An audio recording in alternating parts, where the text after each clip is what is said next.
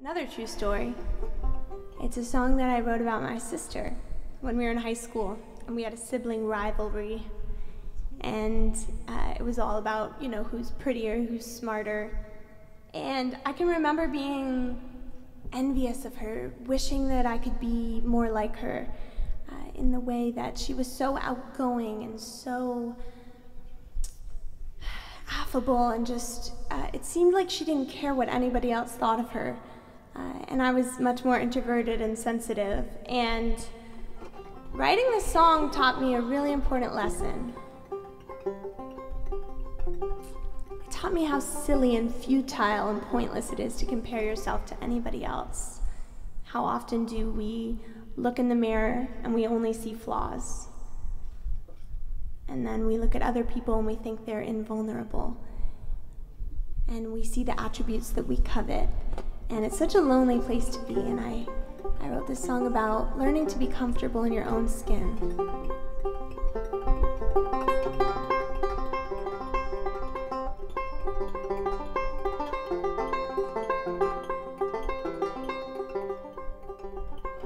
Honey hair falls in her. Wish boys would look at me that way. Approachable but impossible.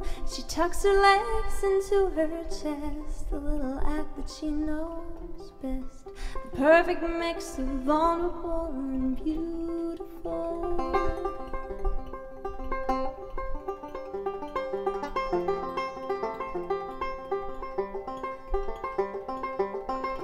Takes a little and she gives a lot, but it don't usually go anywhere.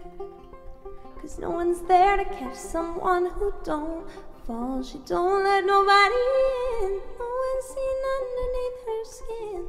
But the blue blood, it's hard to miss. Louise,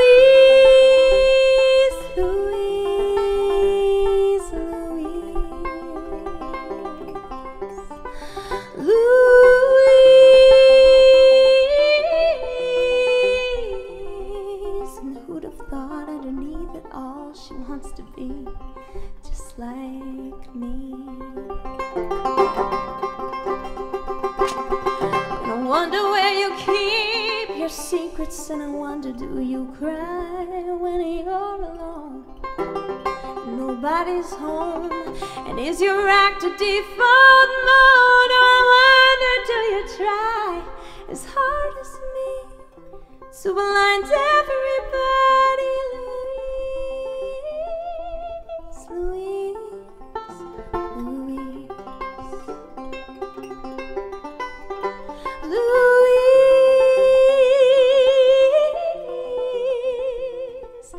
Who'd have thought underneath it all she wants to be just like me? Oh, everybody envies everybody else, and doesn't everybody want to be the trophy up there on the shelf?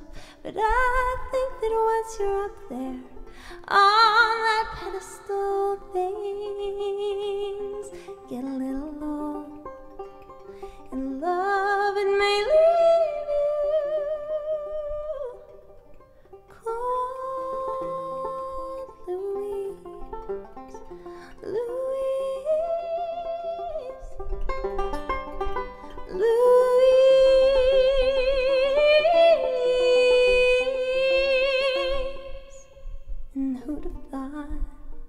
underneath it all she wants to be just like me? Thank you so much.